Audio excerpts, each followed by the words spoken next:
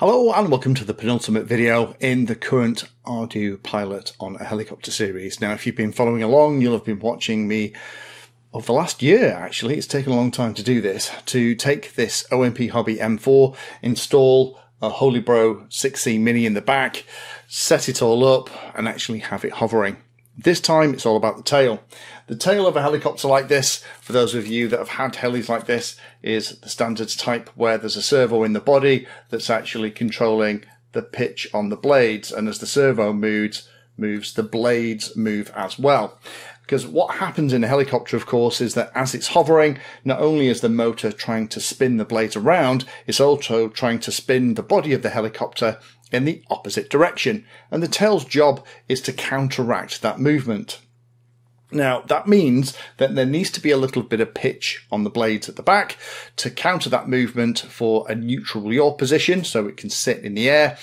And there is a process that you can go through to dial that in. Those of you that have already done a test hover may have found that as soon as the skids left the ground, the tail wanted to swing around one way or the other. You had to catch it on the rudder control on the radio, but over a couple of seconds, that would all be taken care of.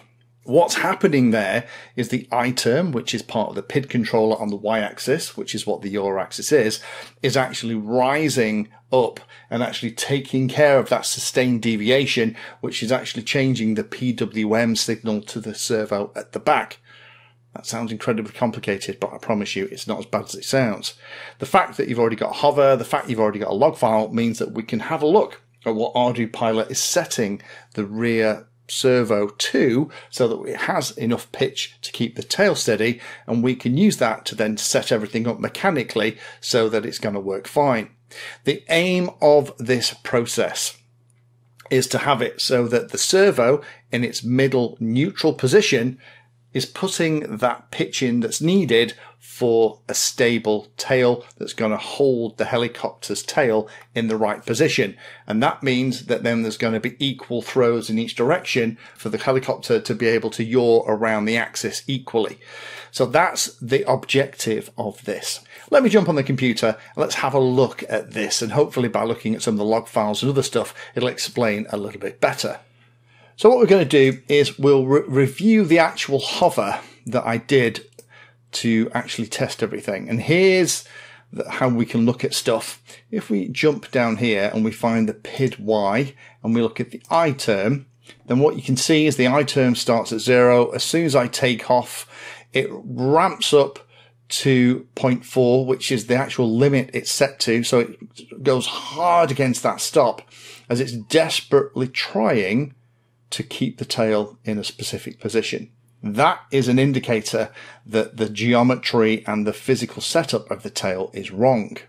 We can also look at the PWM values. If I go down to the RC output stuff, you can see here that what happens is 930 is the servo for trim position for the tail servo. That very, very quickly rises and this is roughly where it is. So if I just zoom into there, you can see that it's hovering around the 978, 980 value. So that's more where it needs to be rather than 930. And that's going to be incredibly useful. That's going to allow us to set the tail up much better. So now we know that that's the value. The way that I've done it here is I've unplugged the servo from the servo for output, connected a servo checker and set that servo checker to 980 and then made note of what the actual pitch on the rear blades is. I use actually a vernier caliper to measure the distance between the slider and the inside bearing race. And that actually exactly 7.5 millimeters. But what I've done is I've actually set that with a little screw on the top. That's going to be my reference. Then what I did, I unhooked the linkage from the servo and then set the servo back to the midpoint position. Now this is a slightly weird tail servo on this and then it goes from 800 to 1000. That's actually the limit of the PWM limit on here those of you that saw the tail setup video, hopefully none of this is new to you. That means that 900 is the middle position. So I've set the servo for 900 and then reconnected everything up. Now, I couldn't get it exactly to 900 just because it's a fixed thing here on here. There's not a lot of adjustability in this control arm, but by setting the servo checker to 885, I could get exactly the same distance with my vernier caliper on the tail. So I know that that's the pitch that's actually needed. That's then allowed me to go back in and set the servo for trim position to be 885. And that's going to be an awful lot closer. How do we know if we've got it where we need it to be? Well, by setting it up like that, we now know that the middle servo position is going to have the same movement left and right. So that's going to give us equal aggressive tail maneuvers in both directions, which is what we want. Let me show you what that looked like last time I played with this.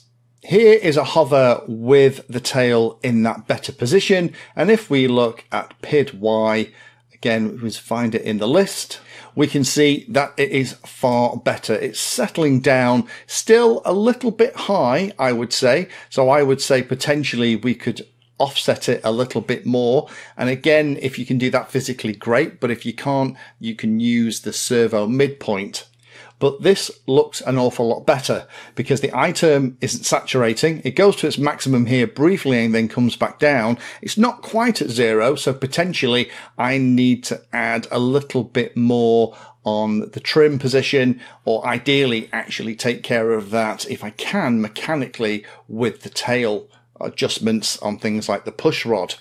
So there you have it. That's how you do it on a tail like this. The trick is to make sure that the servo in its middle position is going to be inputting the pitch that's needed. And by using some of the log files, we can kind of cheat, get that value, put that value on the tail and then unhook the connections to the servo, put the servo back in the middle position and then reconnect everything up. And that's going to be an awful lot better. This tail stuff, this trimming stuff is very similar to what we used to have to play with in the old days where you had a, a GY401 gyro and you had to slide the servo up and down the tail to get it to stay stable in hover. It's kind of the same thing. But what we want to do here is make sure that when it's in the hover, the I term isn't working really hard and that that natural bias that we need in the tail pitch is already there as soon as you take off. So join me for the next video where we will go through the tuning process with this Hopefully those of you that have been following along are also having as much fun as I am building this helicopter. Thank you for watching my video. Check out the playlist and adding Painless360 to your search terms will help you find my content. If you haven't done so already, please hit the like and subscribe button. It helps a lot. You can support the time I spend here answering questions and helping others by using the links in the video description.